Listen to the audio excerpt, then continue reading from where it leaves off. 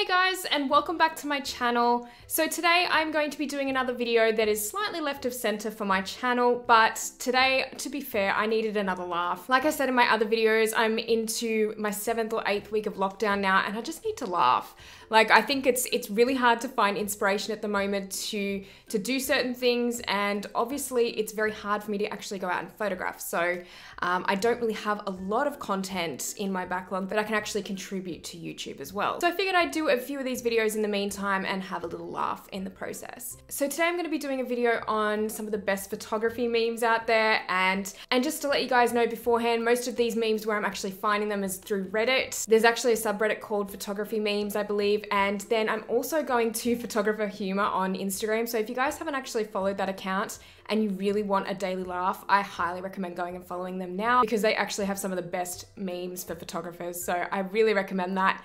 But today I'm going to be doing a bit more of a reaction video to some of these and hopefully you guys can relate. So this is the first meme of the day and it is when the model annoys me asking if the pictures are done and if I'm being completely honest, I feel this one in my soul. It's mainly for me when the models ask about three days after the photo shoot and they're asking me whether they're finished. And that, that for me, that's when I feel like disappearing at that point.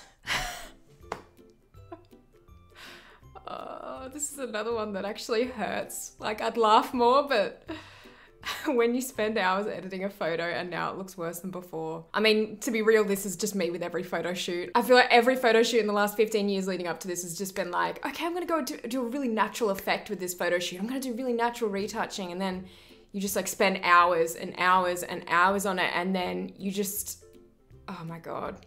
So Adobe has developed software that can detect Photoshop in an image. Adobe.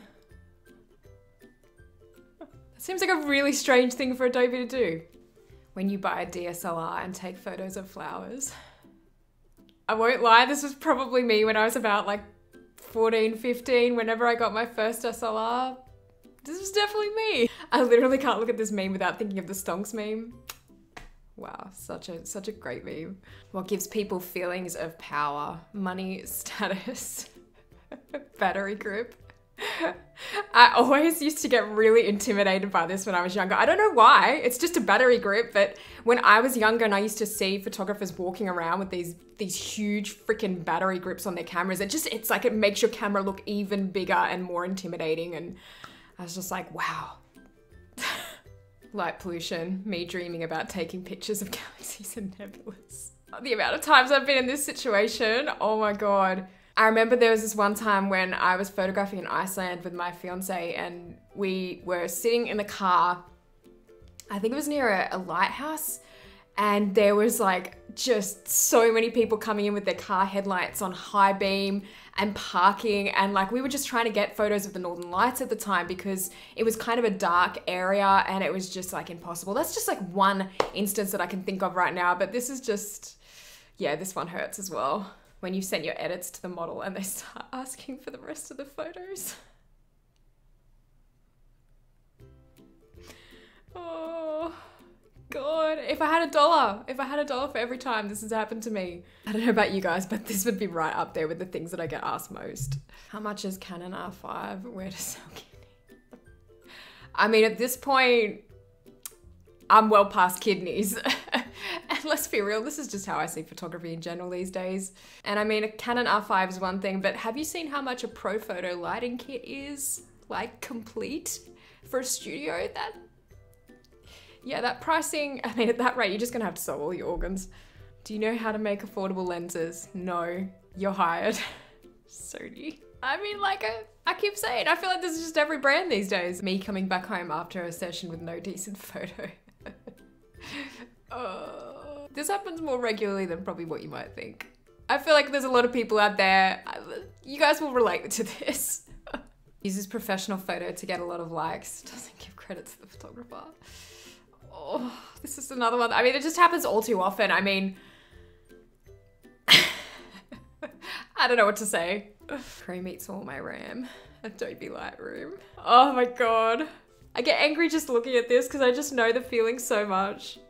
Oh sending photos I've taken like oh I'm not gonna lie some sessions it definitely feels that way So many fake smiles. You never know what someone is going through. This memory card cannot be used.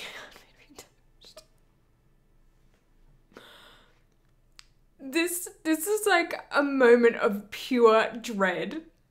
Like dread on a photo shoot. And it is it's happened to me. It has happened to me more than once. Oh god, I hope I'm not the only one with this one. Having a big ego and thinking I can handhold a shot at 125th.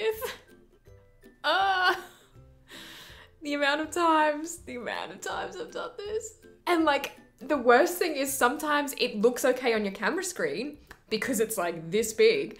And even when you're zooming in, you're like, yeah, that's that's good, it's sharp enough. And then you get it home, you look on the computer, and you're just like, what was I thinking? The practical side of my brain, I've taken 584 photos of this place, I'm done.